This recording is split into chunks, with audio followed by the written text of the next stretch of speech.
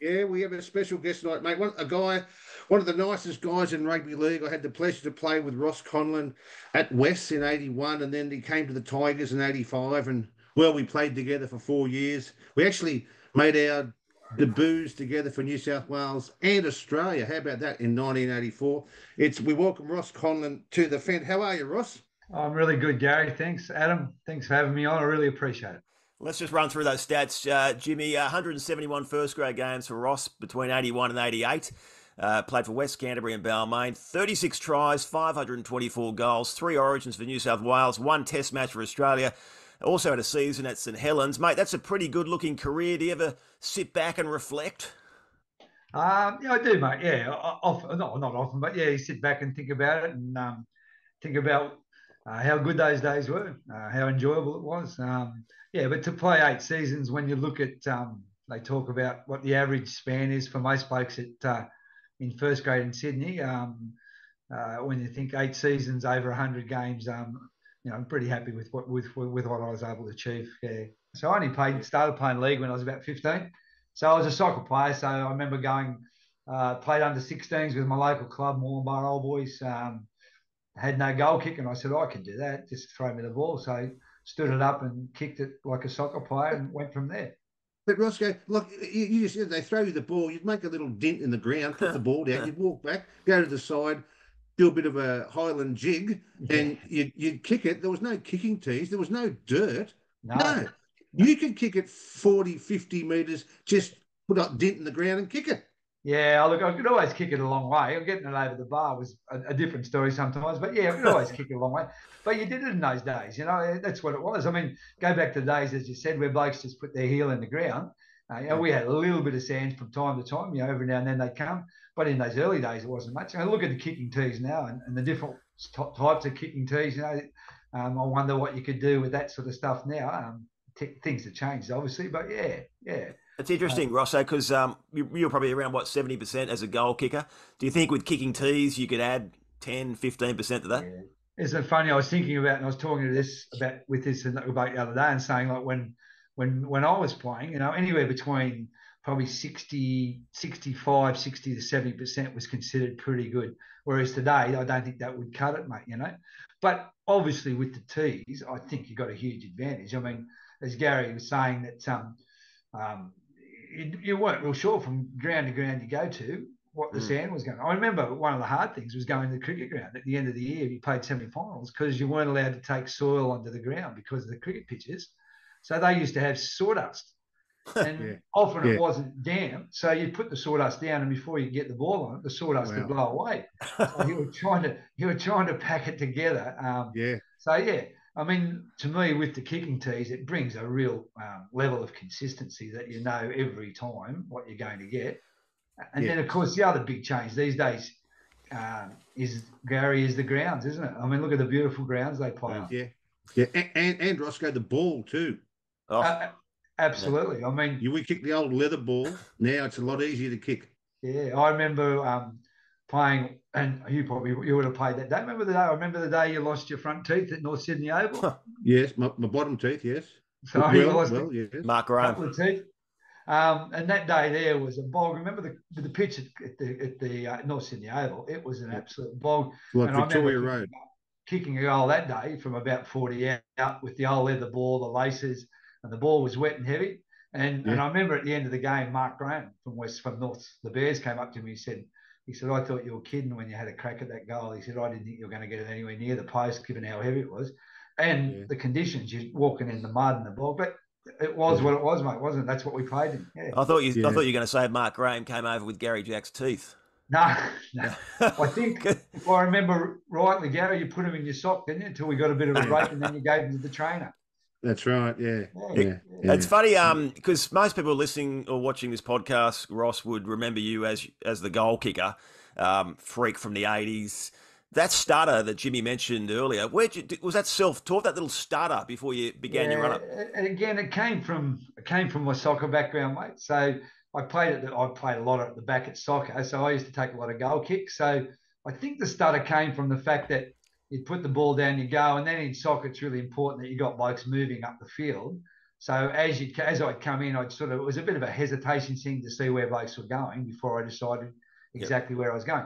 And then when when they threw me a ball at rugby league, I thought, well, I don't know why. Just naturally, that's the way I did it. Yeah, a lot of people have commented on over the years. Um, yeah, yeah. Correct me if I'm wrong, but I do remember you landing them from over 50 metres. Is there a goal that you, you, you notched from the other side of halfway? Yeah, there was one. Um, oh, there was there was probably a couple, but the one that people remind me about the most was we playing for the Bulldogs. Uh, must have been probably '83, and we played Eastern Suburbs at the old sports ground. Um, just on half time, got a penalty. I think we're about five or six metres our own side of halfway, and Steve Mortimer said, "Look, you know, we're going to go to half time. You reckon you can get it? I, I, think you possibly can." I said, and we had a bit of a breeze in our back, so I said, "Yeah, we'll have a go at it and see what happens." And yeah, and, and it went over. So, and and it's funny. There's few people come up to me over the years saying that they were there that day and saw it and thought, "Wow, that was that wasn't too bad." I have a very fond memory. You talk about kicks that you recall. I remember the the day we played the National Panasonic Cup game in I think 1985. We played a Brisbane side at Leichhardt Oval. Wally Lewis, Gene Miles, Colin Scott, they're all there. It was it was a cracker like a state of origin side. And the Tigers played them at home, and I think the score was 10, 10 9 going into the last quarter, um, probably halfway through the last quarter. And we got a penalty kick over 40 metres out on the sideline in quarter football. And we had the shot for goal. So Roscoe lined up from the sideline 40 metres out and put it not only over through the post, but over the dead ball line as well. So all of a sudden we hit the front and it's 11, it's 11 9. Which, wow. which just lifted lifted the team right because you know it was just just lifted the team, and then we scored from the kickoff. We scored from the kickoff. Uh, Scotty Gale ran away, ran around Colin Scott, ran 60 metres, 50 metres and scored under the post. Um, it's a little help from Gary Bridge and, and, Gary Jack at the back there, but we scored from from there and then we went to a 16 10 lead. They never got us after that. But that goal, mm. I watched that goal and go, wow, that was just one of the best kicks I've ever, ever seen in my life. Remember I, that one? Remember the game, mate, because I remember the quality of the side we were playing against. As you said, it was a Brisbane side. Brisbane it was, side. It was the Combined Winner Man University State of Origin side, wasn't it? Yeah. Yeah, and, yeah. and I remember the fact that we were it was neck and neck, and then we kicked the goal, and then we kicked on, and we beat them. We put, we put a few. We beat them like twenty to ten or something. Um, yeah. And, and, what about the names you mentioned, mate? How good Scott Gale? What what a player! Gary yeah. Bridge, what a player! Um, you know, we were fortunate yeah. we had some really good players, but it did change the momentum in the game that that, that night. Yeah. Yeah. And, and I still watch Roscoe. I still watch that clip. And once Gary Bridges handball to, to Scotty Gale, he still had 60 metres to go. He still had to beat the, the, Colin Scott, the Australian fullback, to score the try. And he just put the foot down and just went whoom yeah. around him. And the hairs on the back of my neck still stand up when I watch him go. When he scores under the post, everyone runs onto the ground. The kids run on. Ronnie Ryan's there. It's just one of the great moments of uh, uh, uh, uh yeah. that, that, all because of that kick went over. And mate, when and, yeah, and we had that incredible run in the Panasonic Cup, mate. Four years, four finals, I think, didn't we? In four years. Yeah. So yeah. we were sort of a bit of the team, the, the Panasonic Cup team there. Mm. But as I said, we, we, were fortunate. We had some great players, and I think potentially Scott Gale was as good a player as, as I'd ever seen, mate. Um, he probably didn't achieve his potential, but gee, he could play when he was on. He was something special. I think. I remember, yeah. sorry, Adam. No, no, I was going to say Jimmy has said that before. I remember we played North must I think it must have been '86 in a playoff at the Sydney Cricket Ground on a Tuesday night to get into the semi-finals. Mm. And again, we were behind, and mm. Scotty Gale threw the ball, chip over the top, regather, goes mm. to the fullback, chip over the top. Again, number two, yeah. at full pace, picks the ball up about five metres off the try line and scores beside the post. So it's still probably the best individual try I've ever seen. Was that a, was that a playoff for fifth? That one? Is it? Yes. Was that yes, a playoff? A playoff yes. fifth of the SCG. Yeah, yes. so right. those were the days we had finished equal fifth with Norths, and we played Tuesday, and yeah. then we went on a bit of a run. I think we we beat Manly the following week, Saturday, mm. um, and then someone, yeah. So we, yeah. Um, Ros- Roscoe, just um, when, when, you're lining up a kick, uh, are you aware that you could really change momentum if you land it? Do you sort of think that if, if I can put this over, it could change things? Yeah, you do, mate. Yeah, absolutely. Like Gary was saying then, you know, sometimes just at the right stage of the game, you know, you get two points, you pull back. Um, I think of another game. I think we played Cronulla. It might have been '88. Gary at the at um uh, when we were, on that run again, we finished equal fifth that year too, and just made yep. the semis. And we played Cronulla maybe in a final or whatever, mm, and yep. we were maybe down eight 0 And just before halftime, same thing, a fair way out, forty five, maybe forty six out. We got a penalty. There's no time left. Have a kick a goal, and all of a sudden we're on the board. It was it might have been six two, or might have been eight two. I can't yeah. remember. Yeah. But all of a sudden we go into the sheds having scored last, and we came yeah. out in the second half. Ellery Hanley turned on the turned, turned on a bit of a show, and uh, and away we went. We, we get ourselves into a grand final. You, you mentioned Ellery Hanley. Like we, you played with some great Pommy players, didn't you, over the years? Gary Schofield, Tony Myler. Um, you know, uh, you just mentioned Ellery Hanley. What Lee would Crooks. they like to play with? Pardon, mate. What were they like to play with? Oh, they were great to play with, weren't they? I, I thought they brought something different to the game. It was wonderful. Like um, when when uh, Gary Schofield came, I think it was 85. His first year was 85, 86, 85. Yep. And we had we had a really good side uh, that year. Um, unfortunately, we, we we went out straight sets in the semis, but we had a good side. And he was 18, 19 years old. He was gifted. He could play. Um, Tony Myler, again, he's very different sort of player, but a strong five eight, good player. And then Ellery, he, he was just uh, he, he was a match winner.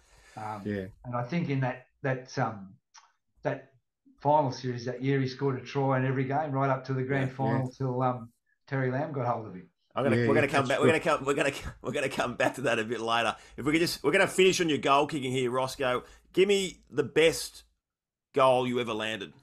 All right. So the best goal I ever landed and this is there, there might have been about three thousand people there, mate. We played when I was again at the Bulldogs. We played um, Newtown at Henson Park, the old Henson Park. So it must have been '83.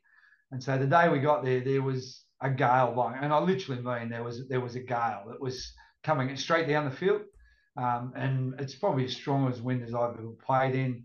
Um, Chris Anderson scored a try in the corner. Um, and the thing was just getting the ball to the post. So he scores a try in the corner. So you're half a metre in from the touchline. And when I got back, I thought, well, there's no way you could go back to, to where you would normally go back to, which was probably the core line, because you're just not going to get the distance.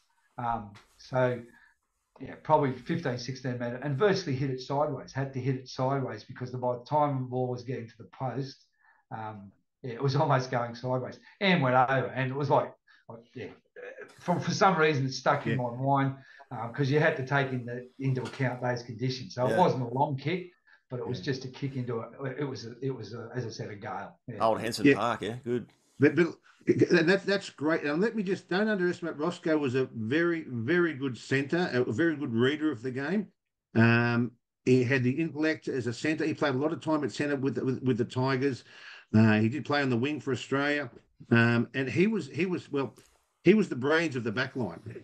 I've never heard that before. Roscoe would always say to me, Jimmy, Jimmy, come here, Jimmy, come here, Jimmy, come here. So I'll be rushing over there. And Dave, him and Dave were the laziest blokes in the team. So Dave couldn't get out of a jog. Dave was good for about four yards if he was going to score a try. He couldn't run 50.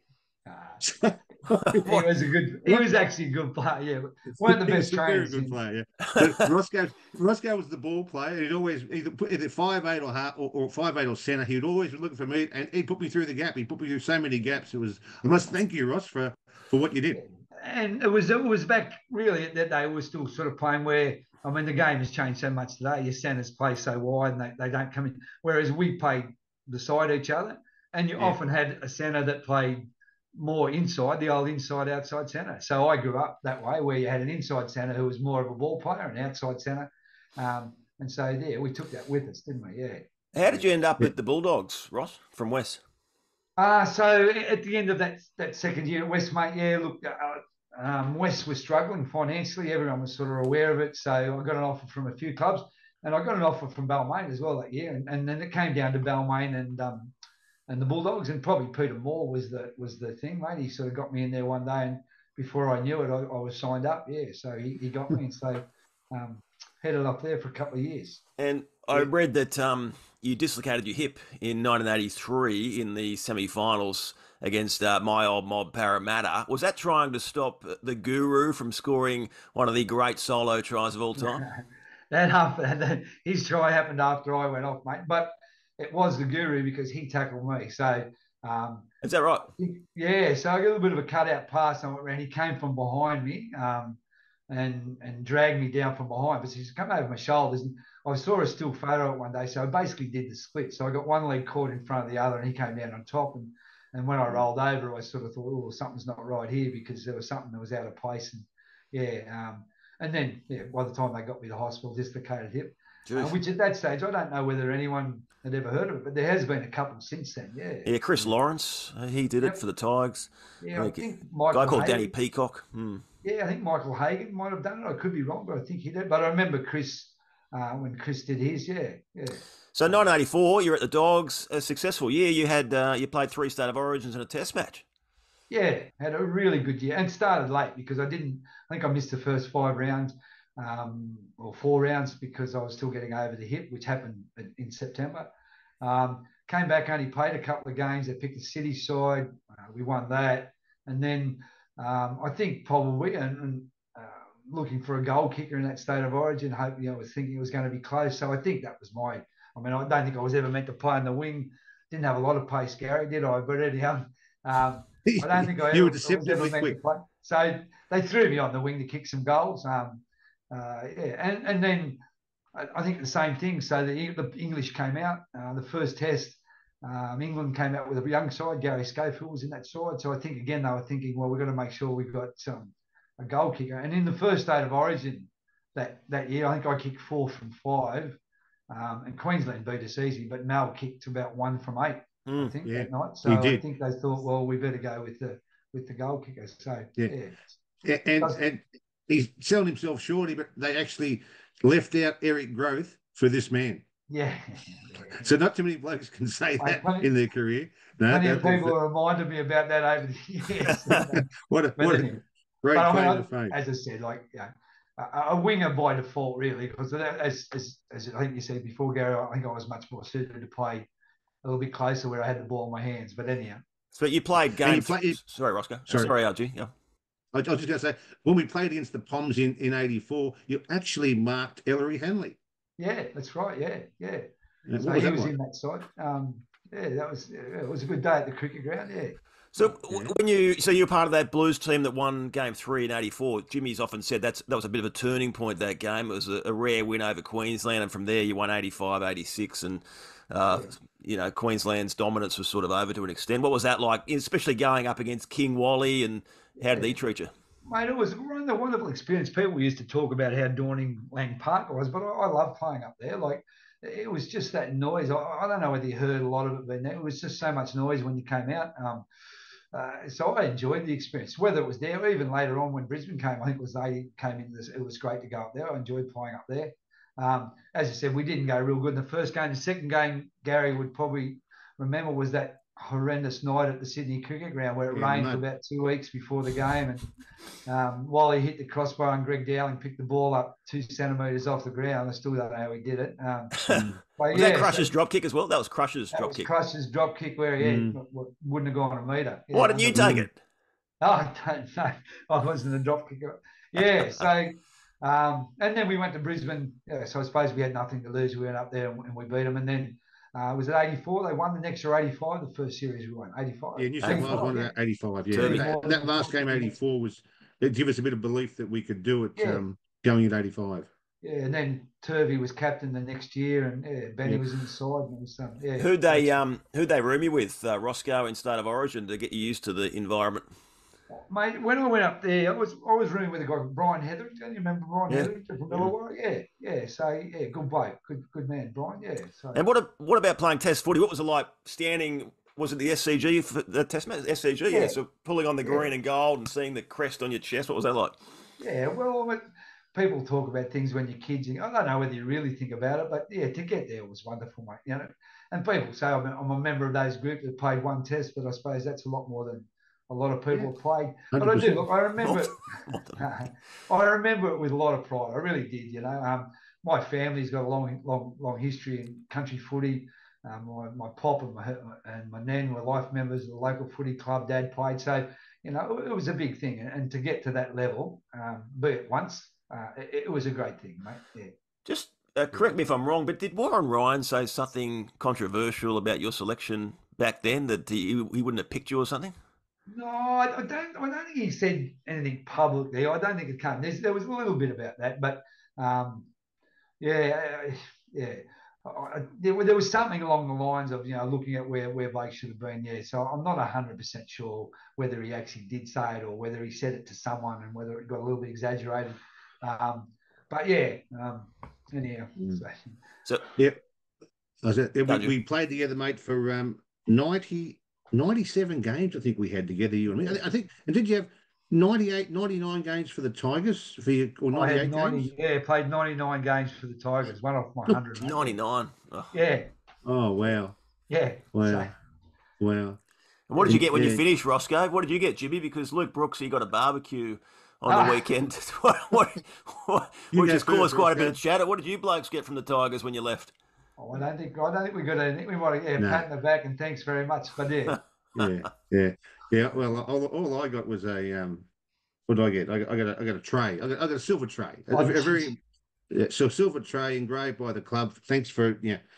Uh, I think I was there what 14 years. So um, yeah, so that was that was it was nice to keep a nice keepsake, a bit better than yeah. a barbecue, I think. Now, I just was Googling some highlights, Ross, uh, before we had this chat, and uh, I thought the first thing that pop up would be some booming conversion, but it was actually a game from the SCG 1987 playing for Balmain in the final against Souths, and oh. David Boyle took your head off. Ah, you, yeah, you're, you're, a I, decoy runner, and he, he, yeah. he got you good. Do you remember that one? I do remember it, actually. Absolutely, yeah. Yeah, it was a decoy runner, but he just must have thought, well, yeah, I'm going to get him in here. But he did get me, yeah. and then I mean, those, those games against South were always pretty interesting, though, weren't they? Yeah. Oh, mm, Dave, mm. Dave O and Mario. Who else? yeah, they were they were rugged. Yeah, yeah. I think yeah. it was Brian Hambley and and um, Boyle, yeah, and, and Les yeah. Davidson. I think some of the battles that uh, between Les Davis and then uh, Les and um, Steve Walker. Roach mm. just yeah. legendary. I mean, they used to go at one another. Wow. wow. You, you popped back up after that incident and kicked a 35 metre penalty goal. Yeah, yeah, I might have been, I might have been um, boxing. Yeah, I might have been taking a bit You'd, of time, mate. You were doing a Jimmy Jack, doing a Jimmy Jack, the fake calf injury. Oh, yeah, they changed the rules because of Jimmy, didn't they? they did. They did. The ball away. Yeah. Take the ball away. They'll stop them from laying down. Yeah. Yeah. So you, you recovered well from your from your broken dislocated hip that you had, and like, and I was just looking at some stats. Like you played 20, 21 games in 85, 27 in 86, 23 in 87, 24 in 88. Like you, you played a lot of games for the Tigers um, after recovering from that hip injury. Yeah, I was really lucky, Gary. Um, again, I give credit to the surgeon, the bloke that I had. He told me exactly what I had to do, and I was pretty rigorous in following what he said. Yeah. The one thing he said was that there was some measure, I can't remember, we used to have a, a test where they put dye through and they could see the blood flow to the hip. And he said, until that gets to this figure, he basically said you can't play. And, and the reality was, he said, for some people it may not come back, but it did. Um, and then it was able to play a lot of games of footy after that. And then even when I left Sydney, I played a couple of years, uh, three years in the country, captain coaching as well. So played a lot of footy after that, um, and it was great. Um, so and I, I was lucky. I sort of after that, I didn't I didn't have a lot of injuries. I had that one big one, but after that, I was pretty lucky. Yeah. So your last year at Canterbury, Ross, just backtracking a bit, was '84. So you didn't you didn't play the grand final that year. Did that make you hungry? And, and why did you leave Canterbury? Yeah, well, I think the writing was on the wall, mate. Um, so I think maybe four, five, five rounds out from the comp, maybe four weeks out, I was dropped.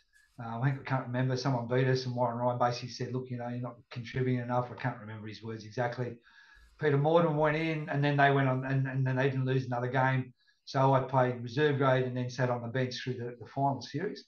So the, the writing was on the wall that um, I don't think Warren Ryan particularly wanted saw me as, as part of the future going forward there.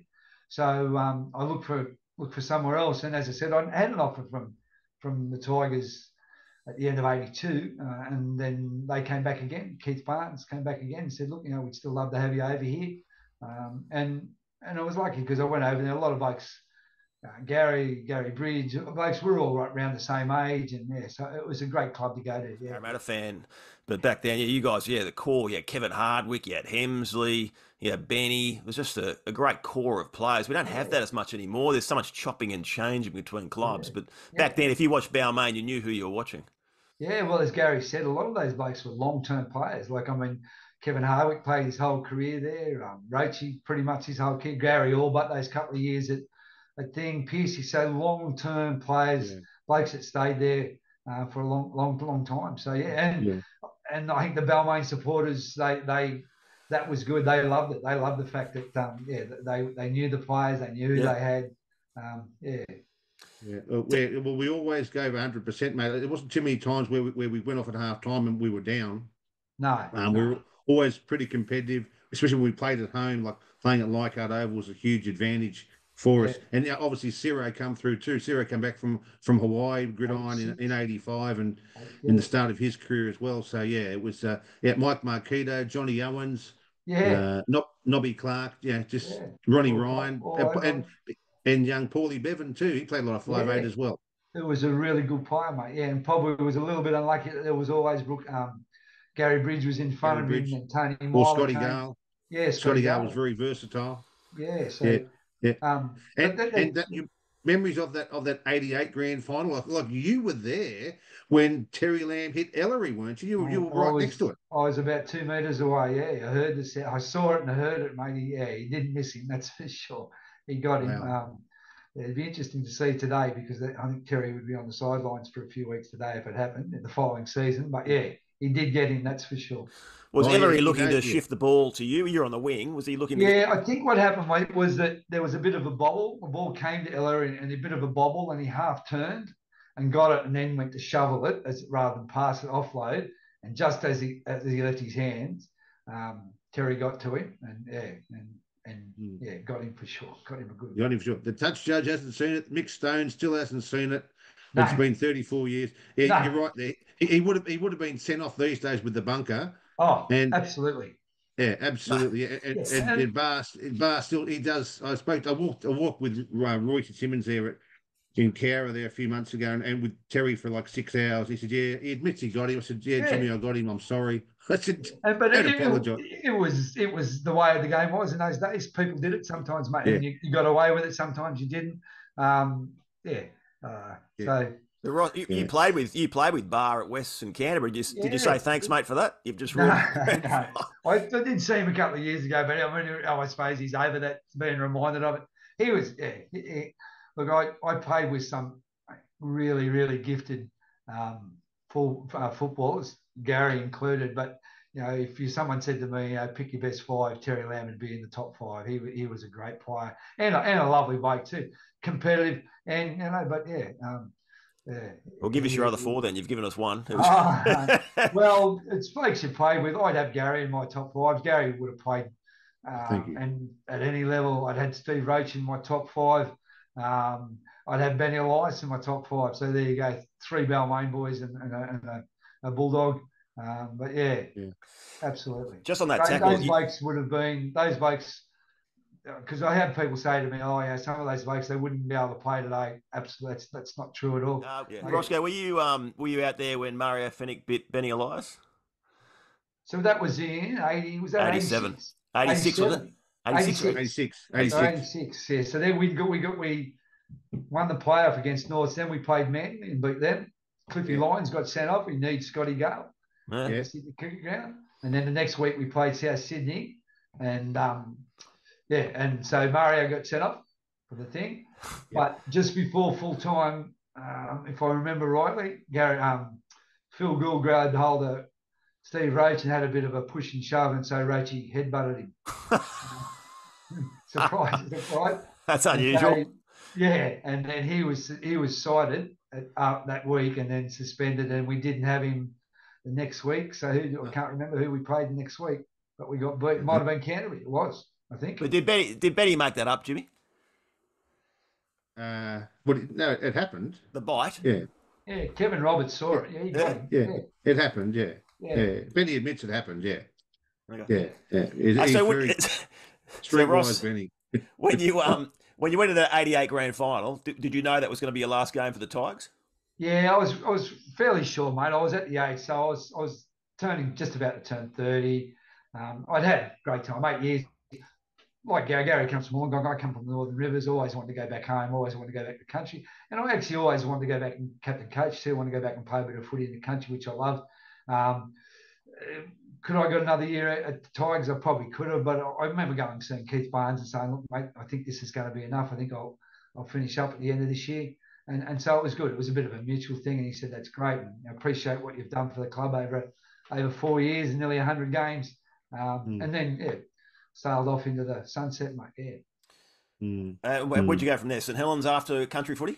No, no, I went to St Helens in '85. Oh, that was before, wasn't it? Yeah, sorry. Yeah. yeah, so that was it. So when I left Sydney, I went to um, Casino up near Lismore, yep. Group One, and coached the Casino Cougars for three years. Um, won a premiership there in 1990, which was wonderful, great for the town, and it's the last mm. time they won a premiership. So they've got a bit of a 30 year drought now since then. What was it um, like? I always worry about you know first grade stars going back to the country. Maybe there's a few uh, scalp hunters out there. Did you ever have any trouble? Yeah, there were, and there, and there were people, and, and you copped a little bit of stick from the from the sideline, of course. But there were blokes that were looking. But you know, I, I, had, I played a pretty good side there. I had a couple of pretty tough blokes playing with me. Casino boys are pretty tough, mm. so um, there were always plenty of blokes prepared to stand beside me. That's for sure. Um, I know at the time when I was there, David Grant, if you remember Big David Grant, Gary would have played with with yep. Granny. No, I didn't play with him. Played against him. Yeah, I played against him. Yeah, so David Grant was captain coach of Kyogle in the same comp. Oh. And I know that. Um, so there's a few blokes thought that they'd um, get the best of David Grant, but that was probably a mistake on their part. it was right, tough boy. Yeah, and, not, not and that was the same with Ross Conlon too. Ah, no. we um we have a lot of English uh, viewers of the Fend. Ross, what was your St Helens stint like? What are your what are your memories I, from there? I, I had I had a great time over there. Um, the fact that um, so like like Gary and like all of us in, in our area, we were we were playing footy, but we were working. So you're fitting working with footy the whole time. When I went to England, so it's basically you're you're, you're um, a professional. You're getting up in the morning, you're, you're thinking about training, or you're thinking about recovery, and you're going and training and then playing. Uh, the footy was a really good standard. I love the footy. The, the, supporters were great. They let you know when you were going good, but they also let you know when you weren't up to standard. Um, and we had a great year. So I was there from, I think I went over early October, came back maybe end of February, early March. Uh, one of the great experiences of my footy career, mate. Loved it. Didn't have the success that um, I'd hoped to, but anyhow, um, I think we finished. We got in the semi-finals of maybe I think it was called the John Player Trophy, the old yeah. days. Um, and then I think we finished fifth or sixth in the in the league. So yeah, but yeah. Um, when I got there, the, the, coach was a guy named Billy Benyon, who was a bit of a St Helen St Helens legend from the '60s. But after about three weeks, and we were running, I think we were running fifth. We went to training one night, and they said, "Oh, they've sacked him, not not good enough." And um, new new coach worked in, which was Alex Murphy, who is an absolute legend of the game. Yeah. So I was coached by Alex Murphy for the rest of the season. So great experience, yeah. mate. And at that time, there were lots of Aussie blokes over there too. So played yeah. against them and caught up with them. So great experience. Yeah, yeah. I think Mal was there the year before, wasn't he, at St Helens? Mate, probably one of the one of the mistakes is going to St Helens the year after Mal was there, mate. Yeah, because I think they won two trophies the year before. And I was reminded a few times that I was no Mal Meninga, mate. one bloke one day, because they gave us, when we got there, gave us this lovely car with Ross Conlon written on the side of it, St Helens. One bloke told me to, but he's to get back in my car and get back to Australia one day because I was no Melbourne. hey, hang on, you had a car with your name down the side. Yes, which Seriously? was a bit dangerous. So Ross Conlon, St Helens Rugby League Football Club, wherever you went, it was there. Um, I think during the year, so I ended up with two smashed windscreens. Come out one more, and the windscreen was smashed. So disgruntled supporter, I think, mate. Yeah. I was going to say, if you if you had a crook game, you'd keep the car in the garage, wouldn't you? Oh, absolutely, yeah. And as I said, but uh, I, one of the blokes over there explained it to me. For a lot of people over there, for St Helens was a bit of a working class area. The footy was their entertainment. That was their that was their day out, you know. Um, so when they paid their two pound fifty or whatever, they expected they expect you to aim up, and if you didn't aim up, um, yeah. they let you know, mate. But as yeah. I said, if you were winning, and we beat, I think it was Hull one night there. We beat them in the in the quarter final. It might have been one of the trophies things. We beat them by about fifty. Wow, God, we, we were kings that night. But yeah. yeah. Um, all right, just to, to, wrapping things up, what do you miss about footy in the eighties? Um, look, I, I love the game and I always will, and I watch it. But I think it's changed. I oh, there's there's a couple of things that um, I love the I love the the the ebb and flowing games in the '80s when that they talk about fatigue today, but it's a different fatigue today. I talk about look at the, when when you got blokes like like big forwards who are on the field for 75 minutes, like 80 minutes, like some of our blokes, like Steve Roach, prided himself on the fact that he was playing full games. But mm. Players could take advantage when they could see a back row or a second row or someone getting a little bit tired. So you got those smaller blokes into the game, and, and there was a little bit more footy played, I thought. Uh, it wasn't so much about field position. Um, you know, if we thought Gary, you'd remember like Roachy would often go down a short blind, you're coming out of our own territory because he'd see someone there.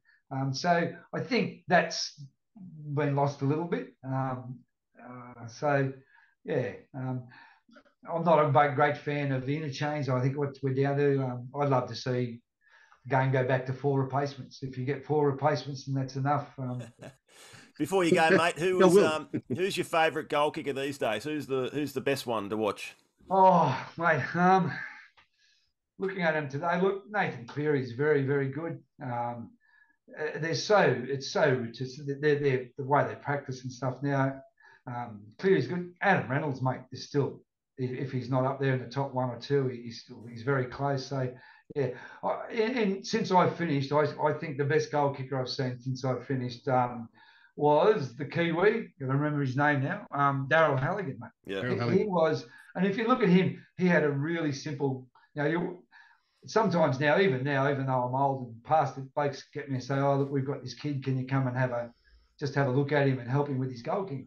And they've got about 25 moving parts in their kick. They lift their knee up, then they wave their arm, then they step back. And and you look at Daryl Halligan, he was placed the ball five or six steps back, same every time simple procedure, and he didn't miss a lot of goals, mate. He was he was a good good, good, good goal kicker. But he never had to yeah. kick with sawdust. No, no, he never had to kick with sawdust on the no, he had, a, he had a kicking yeah. teeth. He had the yeah. Daryl Halligan kicking teeth. yeah, well, yeah, yeah. yeah. That's it. You should oh. have ah. the Ross Conlon kicking teeth. That's yeah, it, mate. mate. Well, should have should have figured that out years ago, mate. Made a fortune, wouldn't it? Yeah. Made a fortune. You could have patented it, yeah. Well, yeah. Jimmy, Jimmy, I want to yeah. cut now. Look out. Okay. uh, Ross, really appreciate you jumping on the, the fend and having a chat with us. Uh, great career and some great memories we've just discussed, and uh, I know everyone uh, would have really enjoyed it. Mate, I hope they have enjoyed it. Um, and and I really appreciate it. I often still get stopped and people talk to me about and say, "Gee, we loved it, loved the '80s. We loved watching you folks play in the '80s." And they remember it really fondly, and uh, you know, it was a, it was a pleasure to play in that time feel a little bit honoured to be able to play in that time, but also with some of the great blokes I played with as well, mate. So yeah. all good. Thank, thank you, and thanks for coming on, buddy. We really appreciate it. One of the really nice guys uh, that I played with in my career, and a real gentleman, Ross Conlon. Thank you, buddy. We'll have to keep in touch. Now we've uh, caught up again. Absolutely. Cheers, Gary. Thanks, mate. Thanks, Adam. Thanks, Ross. See you, mate. Thanks, Roscoe.